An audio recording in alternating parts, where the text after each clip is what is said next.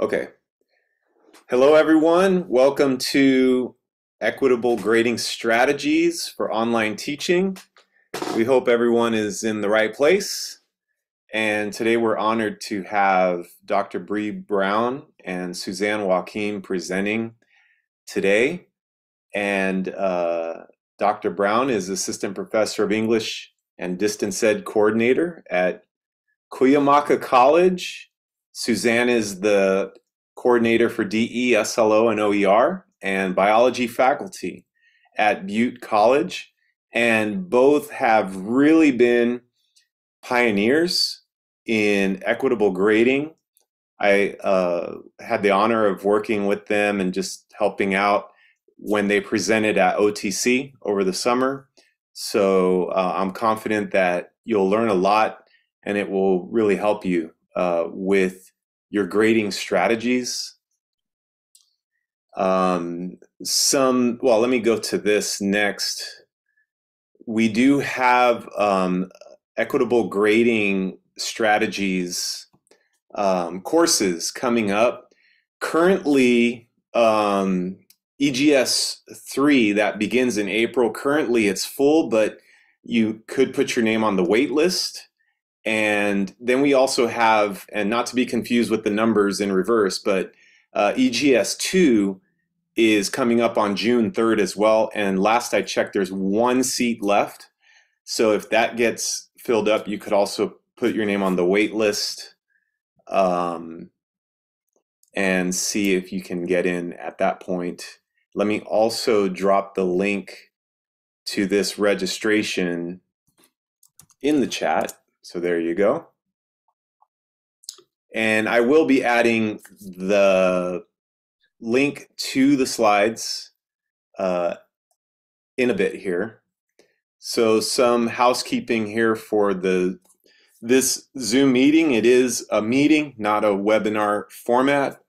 So you're welcome to um, use the chat. Hold on, let me get the right slide here. I thought I had a slide. Okay, well, I don't have a slide. So uh, you're welcome to use the chat. And again, like we talked about here uh, for a second, uh, you can select the captions uh, button on your menu for Zoom. And um, so we'll go from there. I'll, I'll be helping out with the chat. Uh, put your questions in there. And I'll hand it over now to uh, to Bree and Suzanne. So everyone, welcome. Thanks.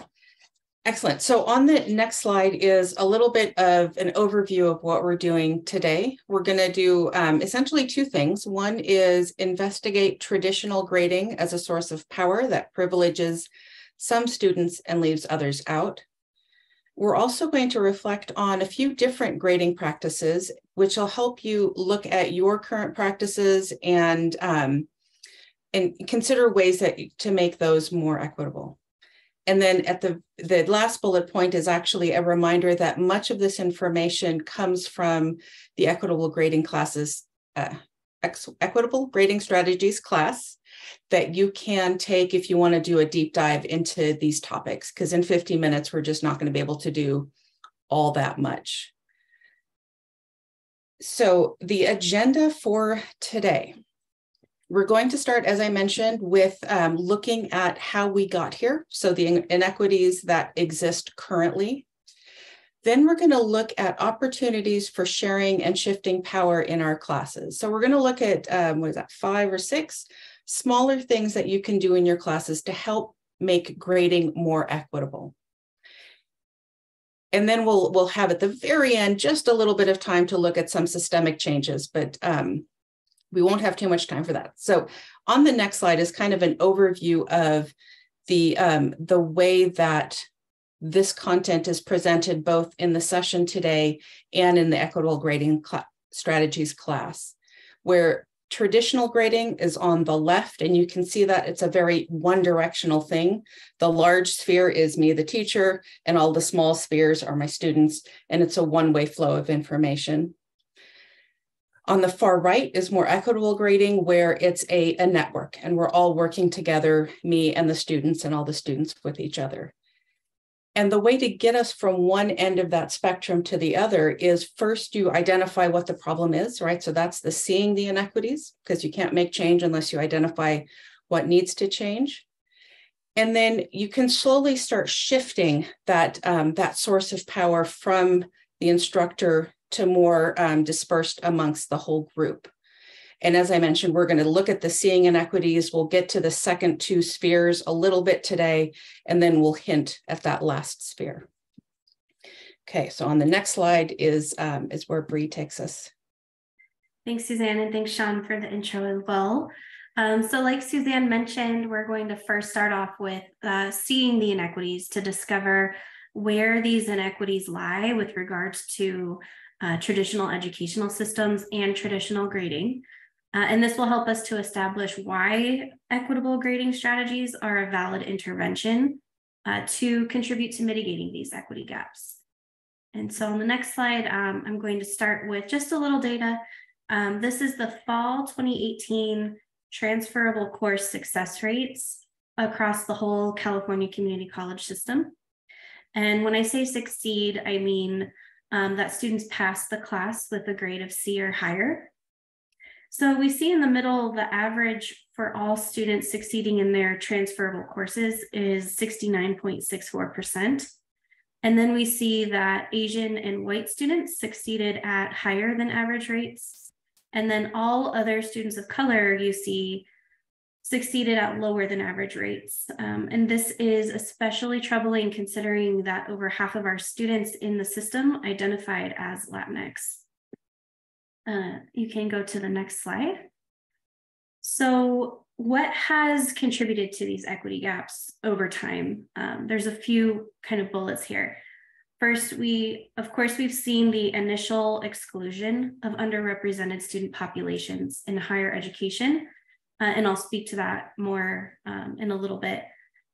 There's structural inequities uh, that have impacted socioeconomic conditions, um, there may be hostile or unwelcoming campus climates, which may perpetuate microaggressions or discrimination and foster feelings of exclusion in underrepresented students.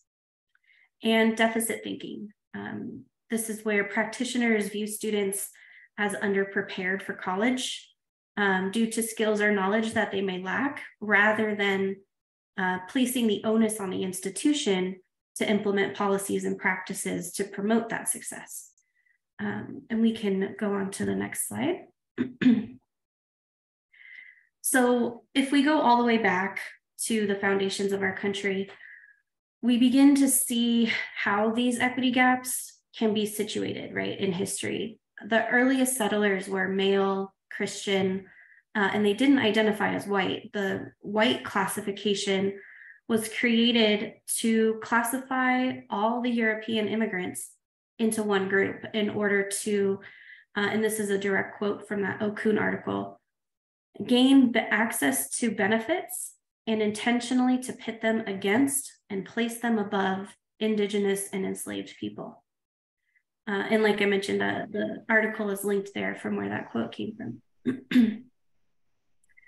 And so white, oh, uh, sorry, same slide. um, so white supremacy culture is baked into our standards, um, beliefs, into our communities, and it teaches us that whiteness holds value and is value. So white supremacy culture is reflected in the current realities of disproportionate and, and uh, systemic harm and violence directed at BIPOC folks, um, Black and Indigenous people of color. And we can see this play out in all aspects of life, right? We can see it in health, in education, including grading, which we'll talk about extensively today, policing, the law, the government, and on and on. Um, what's really beautiful about this Okun article on the slide is she ends with a statement of hope, and she says that anything constructed can be deconstructed and replaced. And she's referring there to white supremacy, but we'll also talk about um, the educational structures uh, that create inequities, including grading, that we can deconstruct and replace. so the next slide there, um, if we look at now industrialization and compulsory education. Um, formal education in the US developed out of this whiteness, out of this white supremacy and colonial culture. Um, after the Revolutionary War, it was only 10% of American uh, families that sent their children to school, most of whom were wealthy. Um, and then in the mid 19th century, we, we moved toward compulsory education. Um, and by the end of that century, free compulsory education became available to any child, regardless of socioeconomic status. But this education system uh, constructed and reinforced standardized rules, curricula, teaching methods. Um, and it didn't really account for the diversity in the student demographics, especially with the influx of immigrants during this time. Uh, so over the past 200 years, our demographics have changed dramatically, but um, some of our practices have remained steady, including grading. Um, so if we move to the next slide, uh, if we look at the origin of grading, um, really the earliest form of education was built on mentorship, right? This mentee, mentor working um, intimately with students in small groups. And then from 1785 to 1883, um, during the Industrial Revolution, we see the move to an efficiency model, um, which is a way to kind of sort and classify students. Um, and this is the time period when our grading system originated. Um, it was a way to rate effectively and efficiently move students through our classes uh, quickly.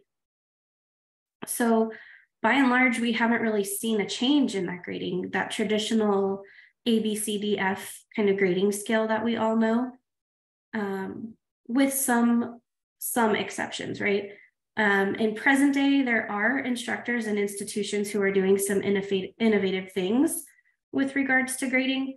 Um, I'm sure some of you know that UC Santa Cruz used to have a narrative feedback system rather than grades. I think they've since moved back to grades. Um, and then there's some other universities, Brown, Yale, MIT, um, who are doing some really innovative things and some high school districts as well. So I encourage you to take a look at what some of those um, institutions are doing. Um, but I think by and large, we are still using the same system that was developed hundreds of years ago. uh, and then on the next slide, um, one of my favorite scholars is Asao Inoue. He's I I take him to be the leading scholar in labor-based grading. Uh, and he says in his book, I didn't understand the internal colonization. I didn't understand how grading by a single standard in all those classrooms of my youth were sending me one message be white or be gone. And so here he's talking about how in school he felt that he needed to conform to the Eurocentric standard of education and what he calls the white standard of discourse. And if he didn't do that, he felt like he would be unsuccessful. um, we can go to the next one. Yeah, so traditional grading um, tends to privilege categorization or sorting students into those grade categories. Um, it privileges efficiency because instructors can grade much more quickly um, by leveraging a letter grade than by providing narrative feedback. Um, it centers subjectivity of merit. So I bet if I asked everyone here to say what merit means to them, um, we would get a bunch of different definitions, right? Um, and that's based on our lived experiences and our priorities. Um, and there's also research that shows that two instructors who teach in the same discipline may even grade the same assignment differently, right? And so that subjectivity um, is present there.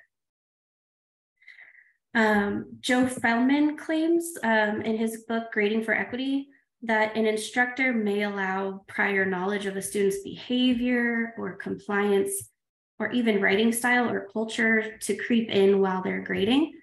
Um, thus kind of tainting the overall score. Uh, and then Inoue argues that, especially in the writing classroom, which we just saw tends to get centered around that white standard of discourse. Um, students who are second language learners or who are bilingual, multilingual, or stray from traditional approach, approaches to writing are at a disadvantage in the grading process.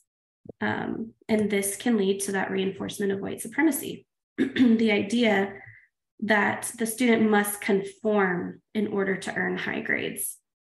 Um, so all of this is stressful for students, right? Um, we want to bring this back to the student. It's really stressful. They're more focused as a result on the grade rather than the learning process.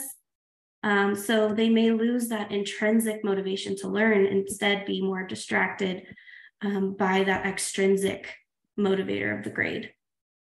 Um, and this can lead to students becoming disengaged and disempowered in the class because, um, which we just saw on the previous slide, right, with the Inoue quote. Um, and as a result, this could lead to attrition or to a student being unsuccessful in the class. Um, so that's kind of just a, a quick summary there of what and who do traditional grades privilege.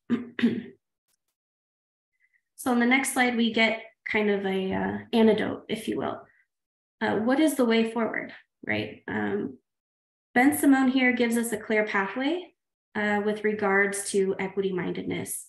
She calls for practitioners to view inequity as a problem of practice uh, rather than a problem with students and puts the responsibility on higher education practitioners to eliminate these barriers. Um, so we can get into uh, some of the equity implications of alternative grading on the next slide here. Um, so we took these bullets here from a lot of different sources, um, many of whom are, are listed there on the slide. Um, not just from Joe Feldman and Susan Blum's books there in the center, but also all the authors in the bottom left-hand corner there who have done a bunch of research on this topic. Um, so I bet, uh, and I asked this at OTC and, and everybody raised their hand. um, just thinking about how many of us have spent time figuring out what grade to give students um, and answering emails from students asking us to rationalize the grade that we've given them, right? That takes a lot of time. By moving to equitable grading, though, this becomes very much reduced. Uh, you don't have to spend a ton of time focusing on what grade to give the students. Um, and students don't need to spend time making a case for their grade. Um, so that, that does save time there. Uh, the feedback process becomes more fulfilling for faculty and it promotes learning for students. Um, and we'll talk about narrative feedback a little later on. Uh, with flexible deadlines, the faculty um, are not the gatekeepers anymore of judging the legitimacy of a student crisis. And students are validated and accommodated with their schedules and all of the compounding responsibilities that they have. and there's agency built into equitable grading strategies as well. So students feel empowered and a sense of agency with regards to their grade and their learning experience. Um, and then further down here, when, when faculty assume trauma, also, we give students leniency, agency, flexibility. We might take into account social anxiety, any educational trauma. And all this leads to an increase in student motivation. Students start to see revision as a normalized process um, rather than a punishment.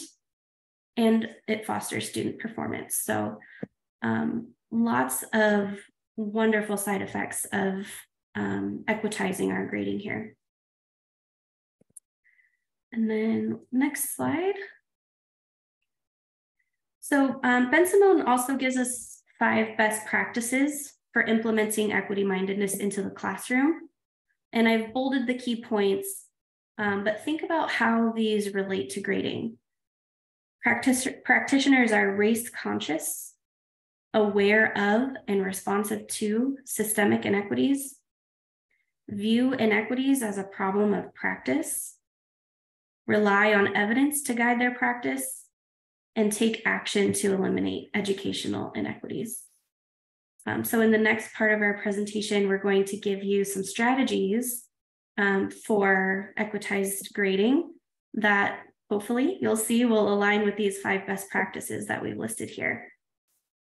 Uh, and with that, I'll pass it to Suzanne. So thank you. So yeah, let's take us back to that spectrum that we looked at, right? So we've we've looked at the inequities, and this was a um, a brief intro into how we got here, right? There's a lot more nuance and detail that um, we we can't get into in this time frame, but that was, I think, a really helpful way to frame us in how did we get to where we are. We're going to move over into shifting towards more equitable grading, and um, on the next slide are the topics that we're going to discuss today. So on the left are the, the changes that we're going to look at because it's always nice to walk away from a webinar having something you can do, right? We don't just want to lay out all the problems and then walk away because that's disheartening.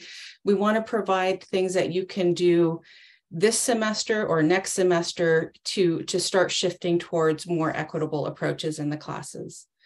So we're going to look at uh, allowing revisions of work. We're going to look at late work policies, self-assessment and peer review, the importance of feedback, and connecting learning um, to the learning outcomes. So we're going to start in with uh, revisions and Bree, back to you. Back to me, okay. Um, so thank you, Suzanne. And like she mentioned, the first the first strategy that we'd like to present is revision.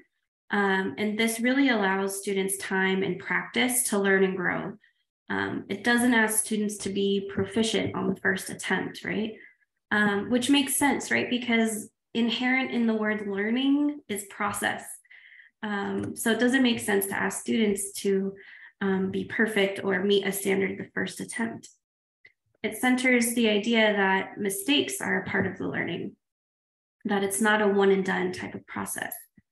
Um, something interesting is revision also works really well with the AB 705 legislation um, because it allows students to learn and grow over time within the semester um, and gives them a better chance of passing within that one year, their um, transfer level uh, English and math.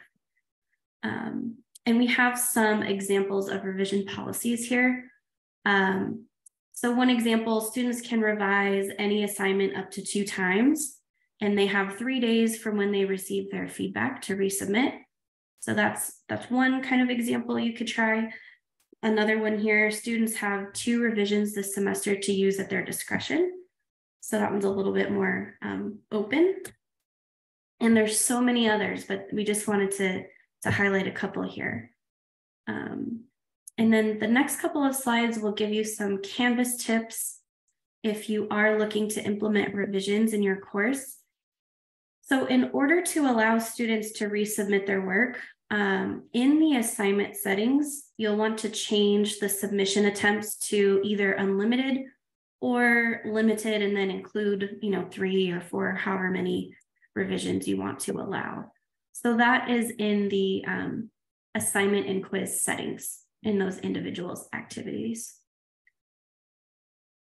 And then the next slide, this is looking at um, how to change the status of a submission. Um, and the next two slides are pretty similar. Um, there's two ways to do this, and this is the first way where you can do it in SpeedGrader.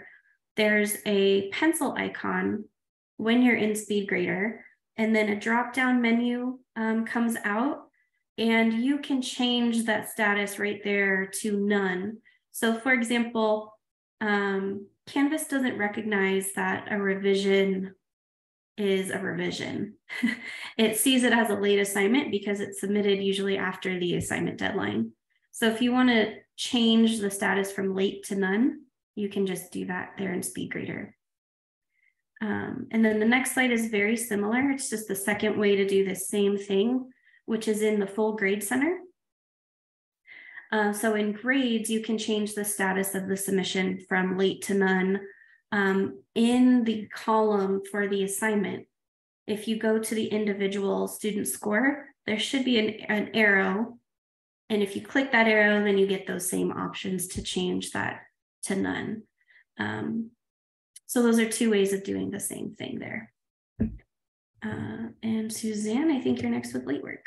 Yep. And before I jump into that, there's a few questions in the chat, and I also want to just address something about revisions, which is we often think of revisions as something done in uh, language classes or in English essays, uh, but it can apply across the board. So I teach biology and I allow for revisions. And what I found is it allows me to help students where their answers are kind of close, but a little confusing, right? So without revisions, I had to make a call of that's close enough to be right or not close enough and it's wrong. Because I allow for revisions, I can tell the student this is close, but it's a little confusing section of the book and maybe clarify it for for you know to improve your grade on this. So it's actually helpful for a lot more disciplines than we think about. There have been a couple uh, requests in the chat for the slides, and we will definitely share those. And um, there were some questions on late work, which I'll answer after I've discussed um, our little section here. So I'll come back to those. Don't let me forget. Okay, so with um, late work, a couple of considerations that I think are important is when we deduct points for late work, what we're really measuring at that point is no longer a student's knowledge, right? Because just that they did it later doesn't mean they learned less. And so as a, as a scientist, those numbers no longer reflect what I'm trying to measure, which is student knowledge. What it actually measures becomes compliance, right? And so that's something to consider when we deduct points for late work is we're not measuring knowledge at that point, we're measuring compliance the measure the um, message it sends to students is that if I don't deduct points, that I'm sending the message that learning is more important than compliance, that I'm really focused on, I want to make sure you understand the content. It also helps our students who lead, you know, complex lives with a lot going on. It allows them to continue their education even when things go awry. And it feels like things are always going awry lately. I've just been trapped at home for two weeks. And so allowing for late work is, is a nice thing um, for students that lead complex lives. One of the other kind of considerations is our students are adults. And oftentimes I hear faculty say, we need to train them that date, uh, due dates matter. And I would kind of propose that most of our students know that due dates matter. They know they have to pay their credit card bills on time or there's a fee. They know they have to show to work on time. They're adults. We don't have to teach them to show up to work on time. And so that's just something to consider as far as what are we training our students to do. The flip side of this is a lot of folks, I think, have two late policies. There's the policy in the syllabus, and then there's the actual policy. And I, I did this for many, many years, right? My syllabus was no late work ever. And, and really what happened is if a student came up to me and said, I need an extension, it was instantly sure. How long, how much time do you need? Right. Um, and what that does is it actually shifts who is affected by the late work policy because which students are going to be comfortable asking for that extension right? It's the students that are comfortable advocating for themselves. It's the students that are used to getting benefit from our educational systems, right? Students that have been disenfranchised in education, students who have been marginalized in various aspects of their lives are either not comfortable asking for an extension or have no reason to believe that it would be granted. So why would I bother? Or the reason they need the extension is something very personal and traumatic, and they just don't want to tell us, right? That's the other consideration with um, requiring documentation. So, as soon as we require students to document why they need an extension, one, it causes challenges for students whose reason may be a little too private to share with somebody. And um, two, it, it essentially tells students we don't trust them. And then three, and I think Bree, you mentioned this, is it puts us in the position of having to decide what's good enough. Right. And I don't want to be in the position. I had a student once that was very concerned because she missed something because she had to take her neighbor to the hospital and the neighbor didn't have family. And you know, and she was concerned because, well, they're my neighbor, they're not my my blood relative. Is that good enough? I don't want to have to choose if that's good enough. Okay, so that is, and there is a lot happening in the chat. So after I'm done with this brief, you are, Sean, if you want to let me know what I should answer. But on the next slide, um, not having a late work policy doesn't mean it's a free for all, right? So what what we're not, I'm what I'm not advocating for is saying turn it in whenever, like whatever. That's not that's not what um, we want to do. We do want to give students boundaries right? So maybe we have a late work policy that allows for um, a two week window. Or maybe we want to say if you're if you turn the assignment in late, you no longer have a chance for revisions. Um, or you, your late work receives less feedback. And this is less about um, punishing a student as it is about giving them an authentic reason why late work, why, why do dates matter, right? If you turn something in late, I no longer have the time I need to provide you with sufficient feedback. Right. This is a um, a natural consequence of having things be be late. Is I I just can't offer you feedback because I've run out of time. So all of that is to say we still want to give students guideposts and we can still have consequences for late work, but those consequences don't have to be points, right? Doesn't all have to come down to points. Okay, so I think that's it for late work. What was happening in the chat while I was saying all this? so, Go ahead, Sean. So I'm I'm seeing and I'm kind of copying it into a single document here. Uh, one concern maybe fairness, uh, if I may um, uh, summarize that. You know, some students they do everything on time, others not on time, but they can still get the same grade. How do you deal with that? Um, another issue might be uh, campus policies, you know, working at an institution that doesn't allow uh, flexibility to the instructors to accept late work and things like that. So those are the two main ones that I think I've kind of summarized. So I don't know if you want to address that now. Mm-hmm. Yeah, I can definitely. The the second one is easier to uh, um, address, which is yikes, I'm sorry. Like if your campus doesn't allow you to accept late work, that's too bad. Um, the first one, I think, is uh, the idea of fairness is often a consequence of having a different syllabus policy and actual policy. If in the syllabus it gives everybody the same um, uh, freedom, then it's no longer unfair because it's the same for everybody. Everybody has the ability to turn things in late. And then maybe a follow up to that, another uh, issue came up. Um, how do you prevent from everyone or many waiting to the last minute to turn everything in? And I relate to that because I had that uh, happen to me uh, a few years ago. So. Yeah, I so I've tried various variations of policies and I found it's all in the wording. Like my actual policy hasn't changed, but the wording of it in the syllabus has. And so if the wording was overly free, like as much time as you need, that was not enough guideposts and students did did end up waiting too long and it was um, damaging to their grade if the wording is the due dates are in place because otherwise you're going to get behind and that's not going to benefit you but if you need an extension feel free to take it students are less likely to use that because it's clear and and I also tend to to um, kind of keep pushing on them if they're missing work.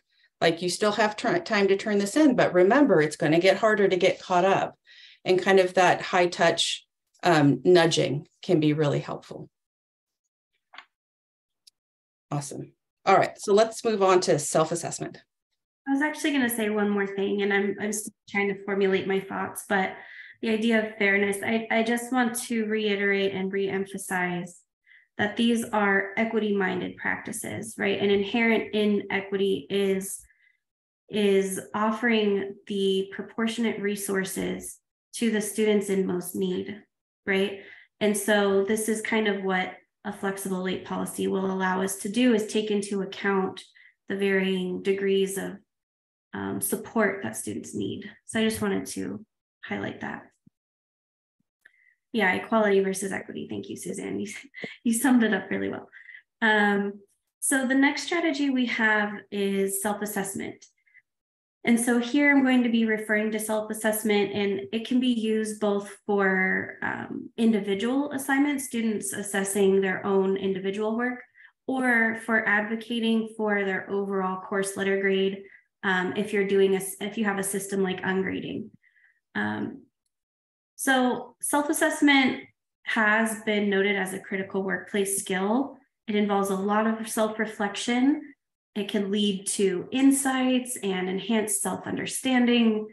Um, and this unexpected learning that happens is really beautiful uh, when you read these responses. Um, and these skills, these self assessment skills, can be taught um, and should include both personal and course goals. And so, for an example, uh, in a philosophy course, let's say, a personal goal may be for the student um, to develop more compassion and tolerance for those who differ from them. Uh, and they can write about that in their self reflection if they feel they've become more compassionate as a result of taking the course, um, and then provide some evidence to speak to that. For a course goal, maybe you have them write about how they fulfilled the student learning outcomes for the course. Um, and then again, they include evidence from the course to um, support their reasoning. Um, Self assessment does require training, especially of metacognitive skills, um, so that students can really dive deep into the exercise. Um, and it's also really important to teach students about biases um, about themselves. Um, for example, stereotype threat. What we've seen, and this is really interesting, is if an instructor has a self-assessment as part of maybe their final assessment in the course, and meaning that students are advocating for their overall course grade, some students may not feel comfortable advocating for a high grade or a grade that they really deserve. Um, and they may actually grade themselves lower than what the instruct- instructor would have given that, that student. Um, and so it's really key that we empower them uh, to believe in what they've accomplished um, and to really advocate for themselves. Um, and so modeling and offering samples is really is really helpful. uh, yeah, the next one, thank you. So some different ways that you can implement self-assessment. Um, there's a vast array of things you can do. Uh, you can have it really open-ended without specific criteria. You could attach a rubric with standards, um, points or no points. Um, I love that option to, to uncheck points. Um, you could provide specific prompts. You could offer it as a reflective journal. Um, you could give them a checklist or a handout to work through um, for them to arrive at a grade, you know, as a result of completing the handout. Uh, you can give them rating scales. And again, all of these kinds of um, options here are available for both students self-assessing individual assignments and their overall course grade. Um, so lots of lots of things to choose from here. And I'll pass it back to Suzanne. Awesome. So peer review is another one of those skills that is worth teaching students because it's important in the workplace, right? When they they evaluate other folks in the workplace, that's a skill that matters and it's one that we're not taught often enough. I've even had faculty say i wish i was taught better how to give you know good feedback how to do those reviews. And so i think it's definitely worth training students on how to do good peer review. And our classes can be a, a place to help them do that the other benefit of peer review is it's a great learning experience for both the person being reviewed and for the person reviewing right? And and you know this. Whenever you you've tried to explain to somebody else what their um, uh, what their explanation made sense or didn't make sense, that helps you learn the material, and that's true for our students as well. So peer review is a really powerful way to both benefit the students in the learning process, train them for important workplace skills, and lighten our workload, which is always a win, right? So I know there was um, a, a, discussion earlier about um, grading takes a lot of time, right? Especially if we provide feedback, as we're, we're going to talk about in a little bit.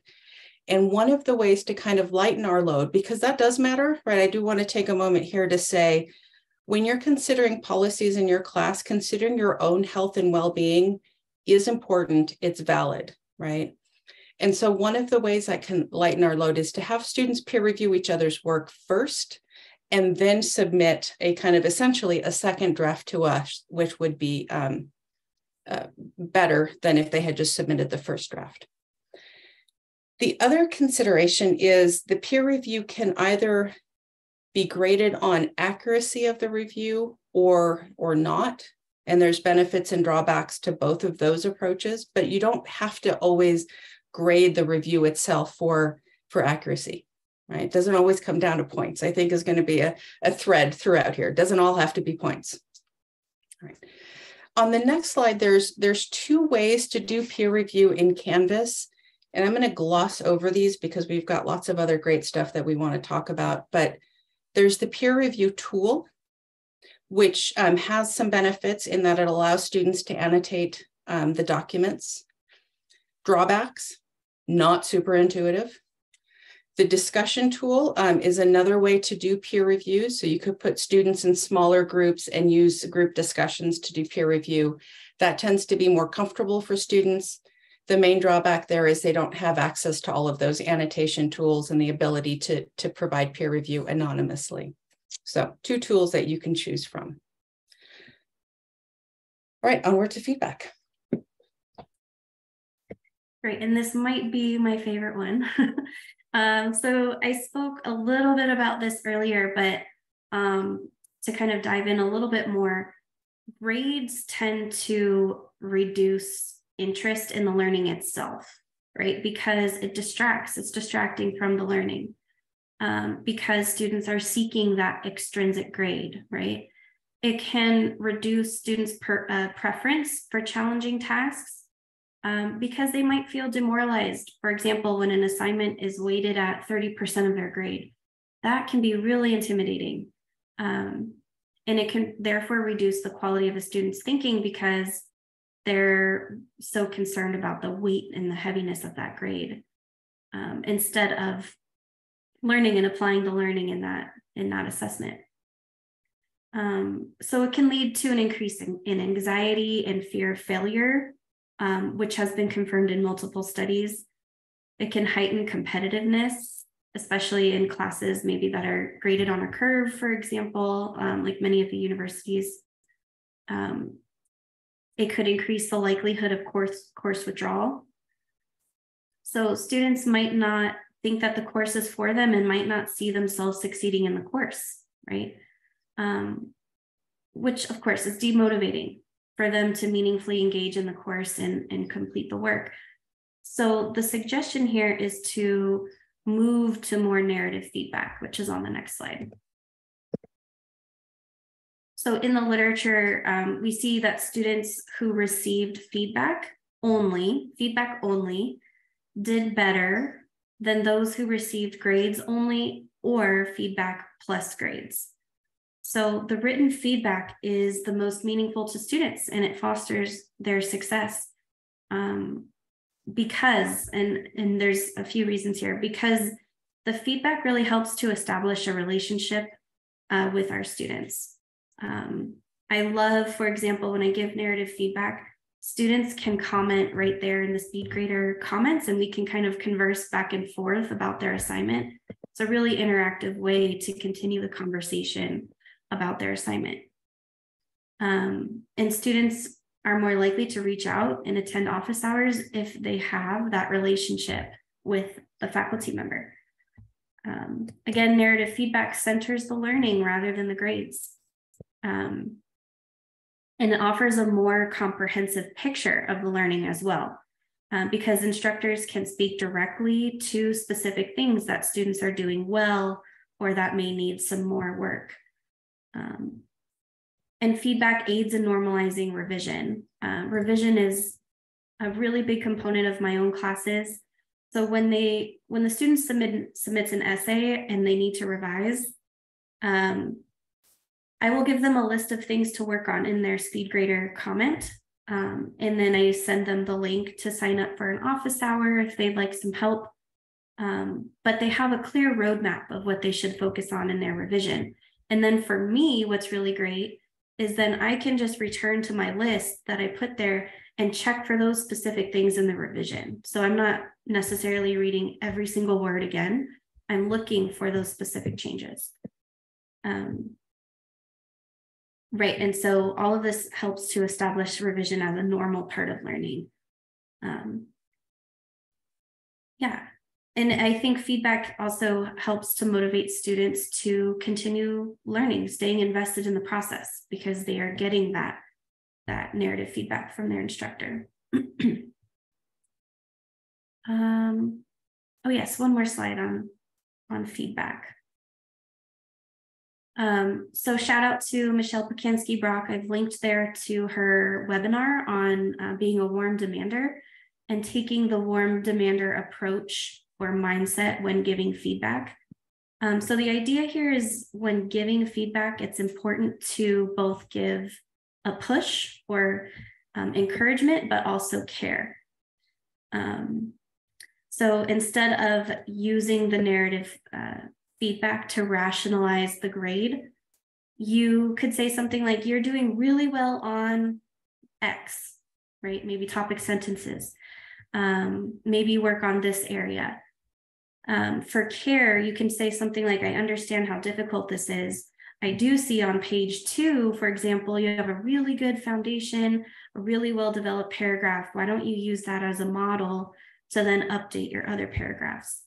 Um, and I think this kind of approach is applicable to any discipline. Um, Suzanne and I were talking in preparation for this, and you know, she mentioned even in her in her classes in STEM, process oriented feedback is is key.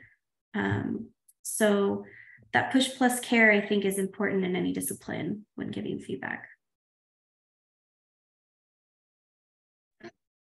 Oh one more.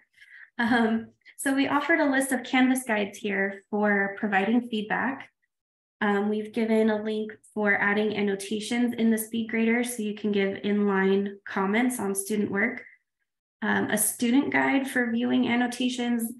This I use everywhere in my course. Um, I link to this in every assignment prompt so that students can't escape that link. I'm really hoping that they're clicking it to find their feedback. Um, a link to giving comments in SpeedGrader, and you have an audio version um, option in there as well, um, audio and video. How to give feedback to quizzes how to add captions to a video created in the rich content editor. Um, and one little tidbit here, you could have students submit a Canvas Studio video and you can then leave time-stamped comments on the studio video and have that conversation with the, with the student at a specific time, which is really cool. And then how to update notification settings so students know when they've received a grade. Um, so just some guides to help you take a deeper dive. Uh, and the last one Suzanne's going to tackle is learning outcomes. So student learning outcomes are one of those things that bring joy to the hearts of all instructors. And so we wanted to end with, with that. Just kidding. The, the idea here really comes down to the transparency of why we're having students do something, right? Um, the idea behind learning outcomes is at the start of the semester, we tell students here is why you're in the class. Seems like a fair thing to tell them. And then for each assignment, we're very clear about here's the goal of this assignment, here's what you're going to learn, here's how this assignment is going to help you meet the course goals. And so, really, that's all we're talking about here. Uh, there, on the next slide is one of the ways that you can do this is using the um, Canvas outcomes tool, right? So if you're using rubrics, and rubrics are a wonderful way to help students understand what they're supposed to be doing in an assignment. At the bottom of the rubric, you can add in the learning outcome. That's one way.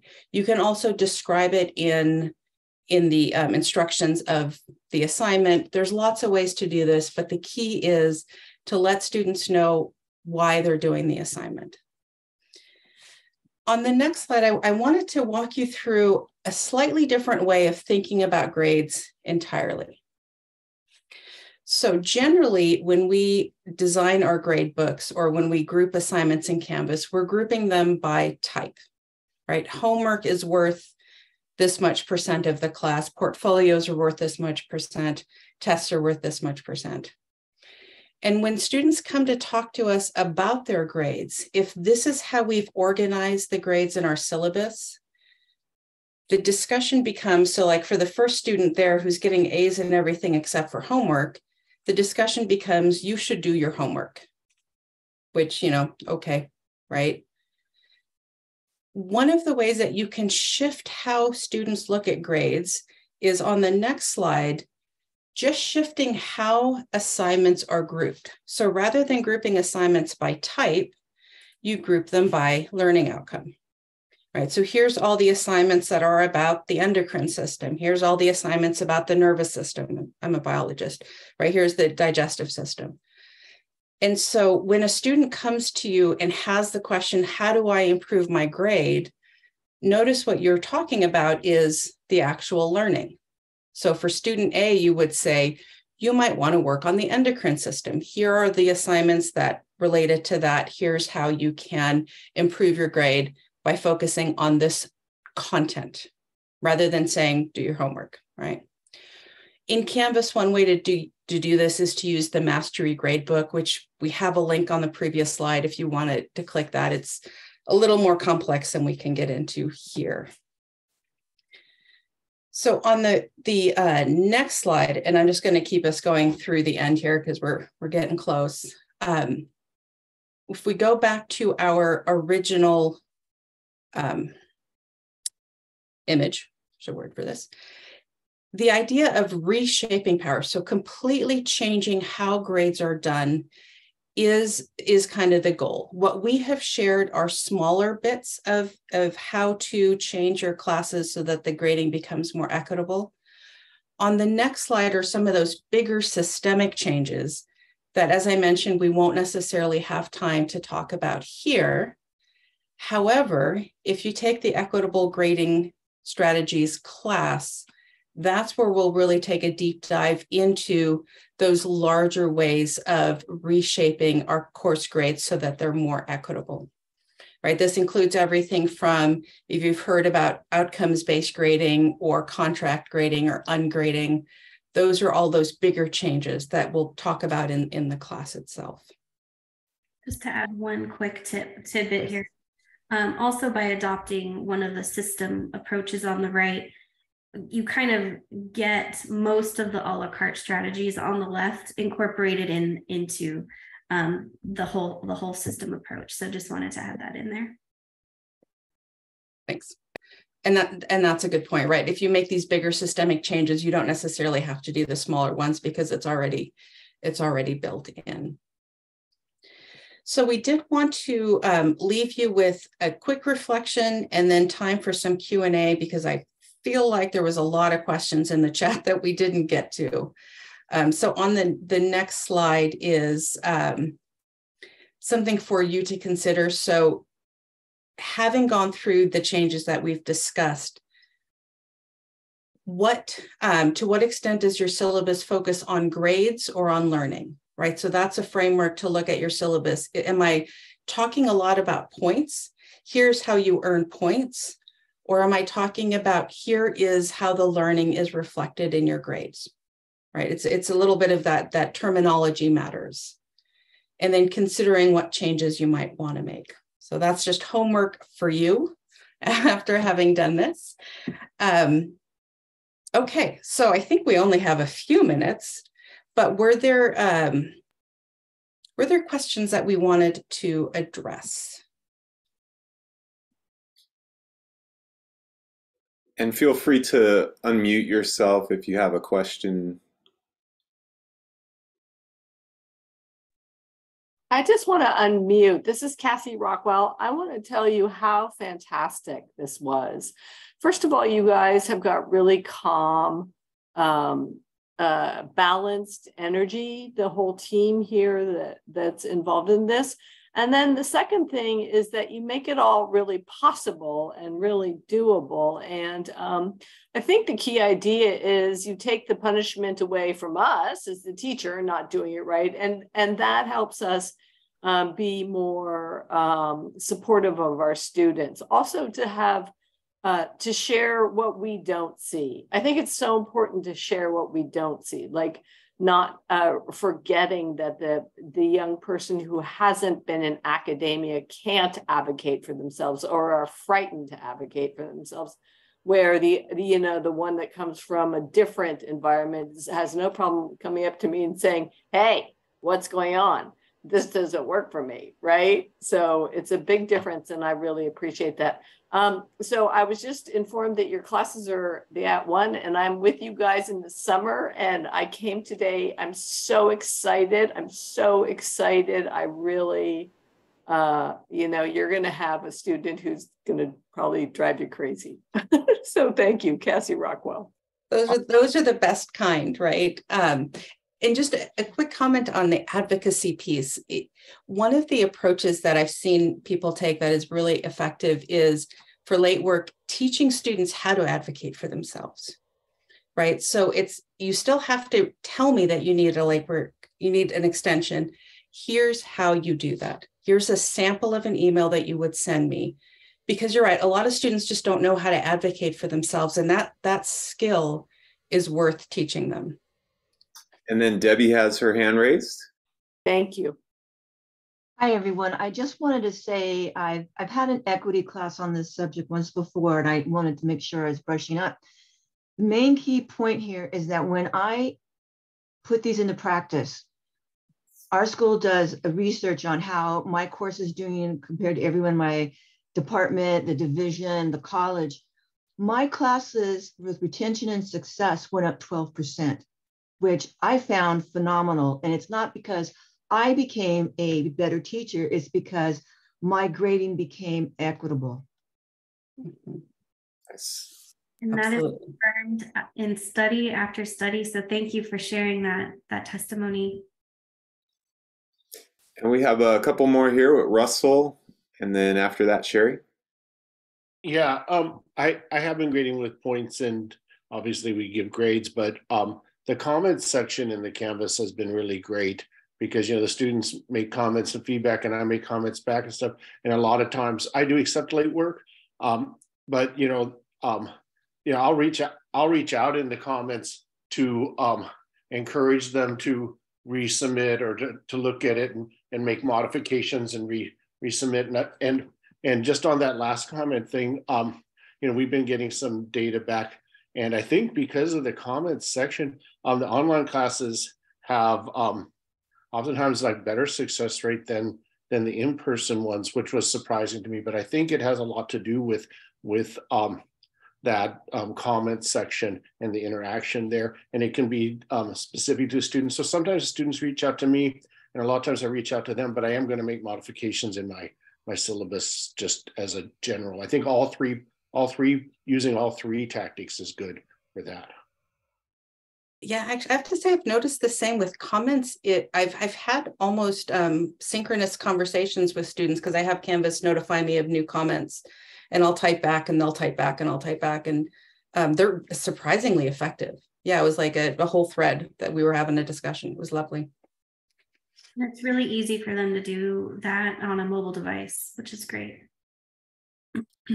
And not sure if we could squeeze in maybe a, okay, so Sherry? Um, yeah, I just had a, a, question. I don't teach online classes. Um, now that we're out of the pandemic, I'm, I teach in, in the art department and we do very analog type stuff, fine arts. Um, but I did wonder if there was a, a comparable um, or an alternative um, class uh, in equitable grading strategies that didn't that wasn't specifically designed for online teaching because I was looking at the the course, the equitable grading strategies, and it, it seems like you need to be pretty proficient in Canvas and maybe doing things online already. So I, I think that the the equitable grading strategies course is billed as for online because it's under the umbrella of @ONE, but truly, oh. and as you saw with with what we talked about today, none of this is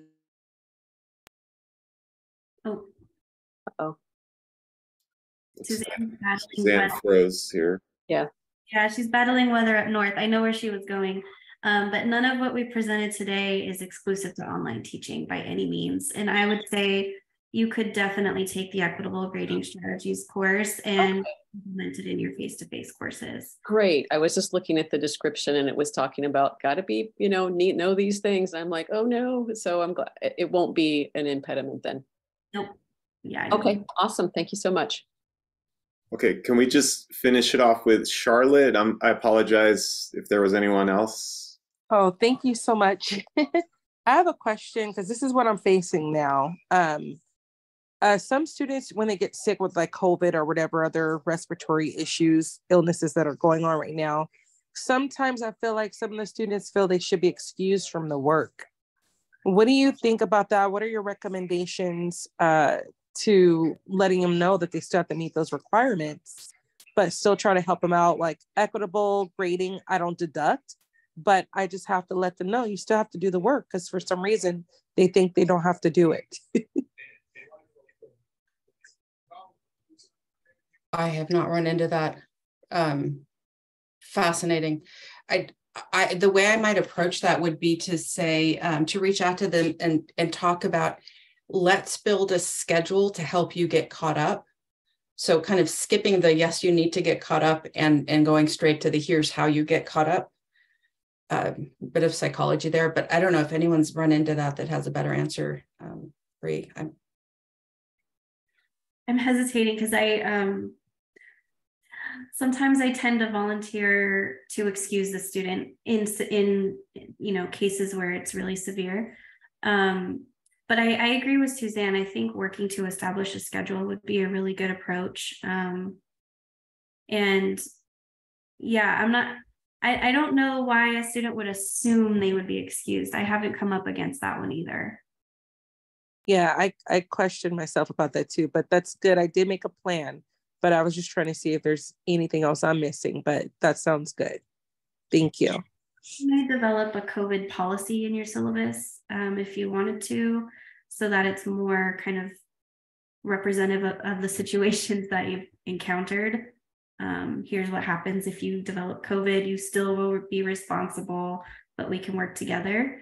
Um, that may preemptively limit um, the number of those kinds of requests that you get. Thank you so much. Awesome. Well, thank you all for joining us. Thank you, Bree and Suzanne. Round of applause. And uh, you should be receiving uh, an email, uh, or you can go to cvc.edu if you want to uh, check out the archive recording of this. So, thank you all again, and everyone have an awesome weekend. All take care. Thank you very much, everybody. Thank you. Thank you.